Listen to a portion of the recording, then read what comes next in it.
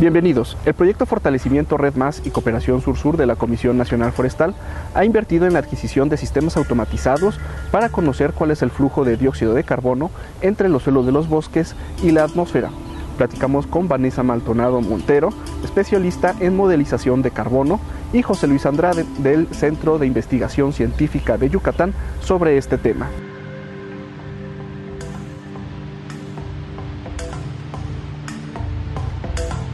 En la parte aérea se están tomando mediciones eh, dasométricas para estimar el carbono en la biomasa aérea.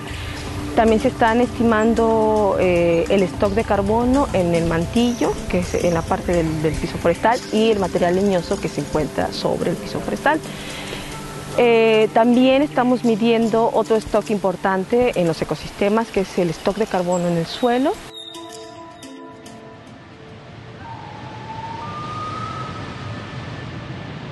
A nivel de ecosistema hay dos principales flujos, que uno es el ingreso del carbono de la atmósfera a la biosfera y que eso es a través del proceso de fotosíntesis, que es uno de los, es uno de los principales flujos, que es el ingreso a los sistemas. ¿no? Pero el de pérdidas, que es el que va a través de los ecosistemas a la parte de la atmósfera, es a través de la respiración. Entonces es un flujo importante y finalmente lo que queremos mirar en cuestiones de emisiones de gases de efecto invernadero o carbono más bien en este caso, pues es un balance, ¿no? De sí, yo estoy tomando, bueno, la, vegetación y, el, todo el sistema está teniendo como cierta captura de carbono, pero a la vez está emitiendo, ¿no? Entonces finalmente es importante tener ese balance. Uno de los flujos importantes a nivel de ecosistema es cuánto del carbono del suelo es emitido hacia la atmósfera vía respiración de las raíces, este, fauna del suelo, microbiota y, bueno, hay algunas otras fuentes inorgánicas.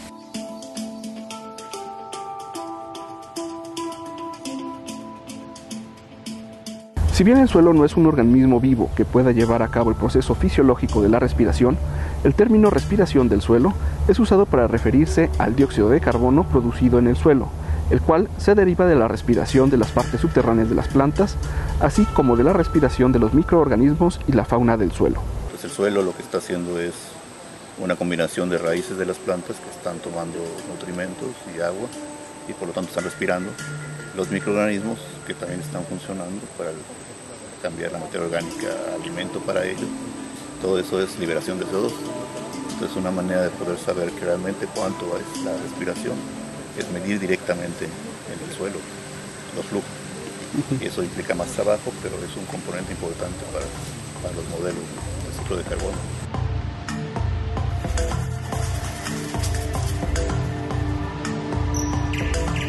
Para conocer con exactitud el aporte de la respiración de los suelos al total de la respiración del ecosistema, el proyecto adquirió tres sistemas automatizados que miden el flujo de dióxido de carbono del suelo, que incluye sensores de temperatura y humedad, dos factores que afectan a esta respiración. Para ello, en los sitios de monitoreo intensivo estamos utilizando eh, unos sistemas de medición automatizada para medir justo este, estos flujos que se dan a través del suelo.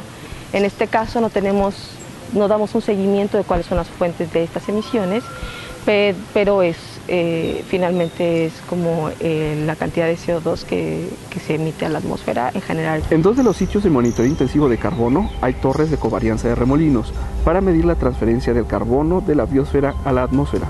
Con las mediciones de las torres se puede obtener la respiración del ecosistema sin diferenciar la fuente. Por ello, medir el flujo de carbono del suelo permitirá tener una mejor idea del aporte de este al flujo total. hay muchas suposiciones cuando se mide con el, con el, método de covarianza de Torbellinos y lo que obtenemos en general son datos muy eh, bajos para la respiración heterotrópica, que sería de las raíces de vida microorganismos.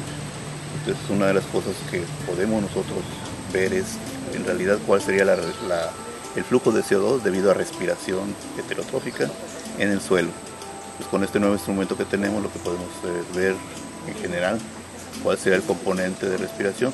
Entonces la idea es poder representar pues un área, probablemente no sea todo nuestros, cada sitio de monitoreo intensivo, sino que áreas más pequeñitas para poder hacer esa extrapolación a nivel de a, un área grande y considerable pero solo se va a hacer en, hasta ahorita está considerado hacerse en tres de los sitios de monitoreo intensivo, que es donde se, tienen equipos para la medición del flujo. Solo lo que se busca es que en los sitios que tengan torres de mediciones de flujos de edicovarianza, tener las mediciones de CO2, porque en las, las torres te dan el flujo neto, el flujo neto del ecosistema y si tenemos datos de respiración de suelo, o, más bien como mano de respiración de las emisiones de CO2 del suelo, podemos asignar esa cantidad ¿no? y poder saber entonces cuánto viene del suelo y cuántas emisiones vienen como ya de la parte aérea. ¿no?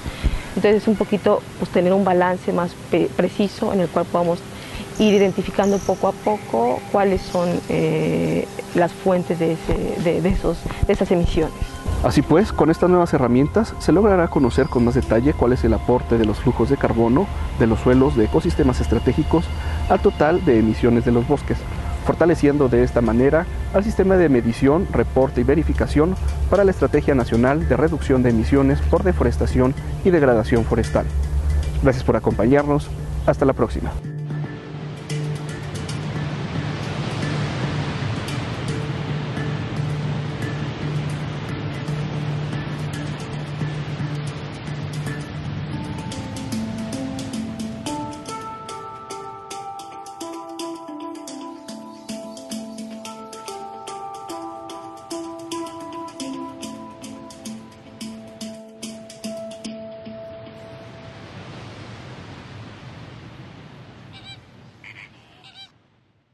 Secretaría de Medio Ambiente y Recursos Naturales.